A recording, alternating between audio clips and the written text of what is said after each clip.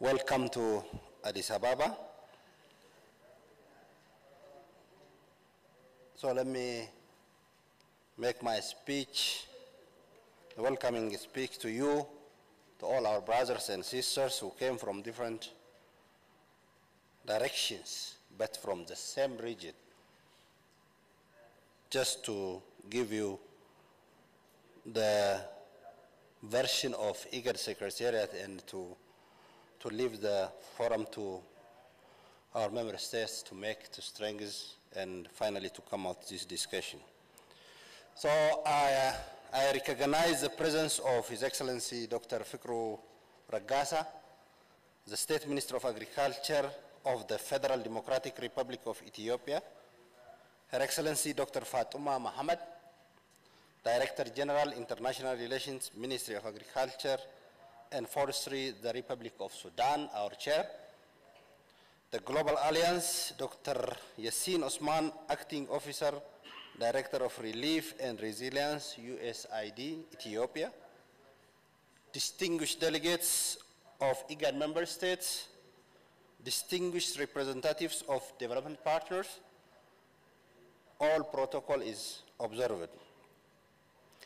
It gives me great pleasure to welcome you all to Ethiopia, specifically Addis Ababa, and invite you as a chairperson of this platform to listen to my remarks at the 14th IDDRSI Platform Steering Committee meeting.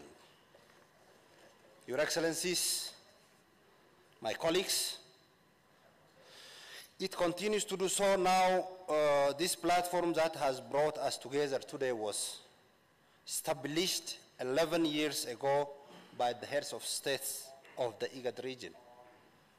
EAC and development partners following the severe drought of 2010 to 2011. This continue to do so now at this most critical time when we are facing the worst drought in the life of 14 years of this region. In these last 11 years, IGAD has supported member states through IDDRSI to develop joint programs that targeting regional issues through programs that address development challenges in cross-border areas. In this regard, we have been supported by our partners I mentioned them, some of them, the African Development Bank, the World Bank, KfW, the European Union, SIDA Sweden, USAID, BMZ or GIZ, Islamic Development Bank, Denmark, Swiss Development Corporation, and UNDP. In addition, IDDRSI has benefited from the technical support of FAO, ILRI and GIZ. I also wanted to recognize the generous support of the Swedish government, which has strengthened the coordination and implementation of IDDRSI. IGAD has been consistently working to strengthen resilience capacity in the pastoral and agro-pastoral communities in our region. That is most of our pastoralist communities live through cross-border development cooperation mechanism that contribute to regional integration. The cross-border development facilitation unit piloted in the Karamoja clusters service four countries, namely Ethiopia, Kenya, South Sudan, and Uganda, is now being scaled out to other clusters through various programs supported by IGAD, including the Borderland Resilience Project in collaboration with UNDP. Similar efforts are underway with the support of the European Union to build on proceeding cross-border development projects in three clusters of the region. Your Excellencies, ladies and gentlemen, it is also my pleasure to inform you at this point that IGAD is set to launch a midterm review of the 15 year of IDDRSI, where we will draw lessons and inform improvements in the design and implementation of this very important program. This review will take into account existing and emerging challenges such as the COVID-19, desert locust, protracted conflicts within our region as well as internationally, macroeconomic shocks, which is caused by the issues that I mentioned earlier, and the current drought that we are going through. Our intention is to learn by doing in order to increase the adaptive cap capacities of our people to the complex situations they are facing. In this regard, lessons generated from phase one of IDDRSI have been translated to IDDRSI 2 or phase 2, which will subsequently inform phase 3 of this initiative.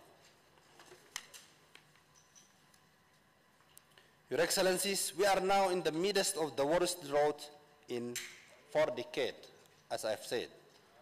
The number of food insecure people has raised ex exponentially from 40.2 million in May 2022 to over 50 million now. To make matters worse, this is not just a food crisis, but also the combination of a food crisis, health crisis, as well as malnutrition among children, the elderly and women in exceeding of 90 million in the three most affected countries, namely Ethiopia, Kenya, and Somalia. Additionally, it is also an economic crisis with over 7 million head of livestock, which are the main source of life for pastoralist communities of our region. In response of this, Your Excellencies, IDDRSI was established to build preparedness through early warning system and coordination mechanism at a regional, national and subnational levels, as well as foster political commitment by our member states and like-minded development partners which are working with us. These circumstances we are in now compel to need for a program shift or paradigm shift where we should accept the impact of these multiple shocks, including the war, the conflict in Ukraine, which is directly affecting our region as well. This circumstance we are in now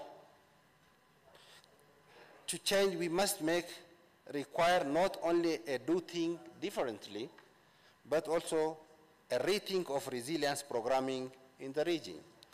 The rethink, rethinking of resilience in our region is now the most important thing that this meeting should be challenged. So, dear colleagues, experts, scientists of our region, I challenge you to find innovative ideas that will put us on a transformative path toward more anticipatory and lasting outcome in the coming years, that the vicious circle that we are in.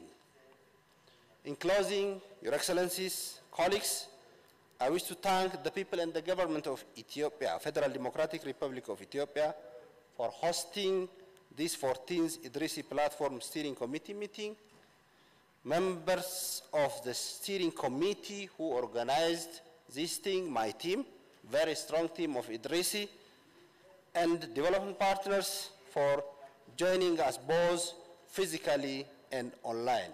And most importantly, our member states who are the backbone of our organization, who came from all our member states to participate here so I thank all of you.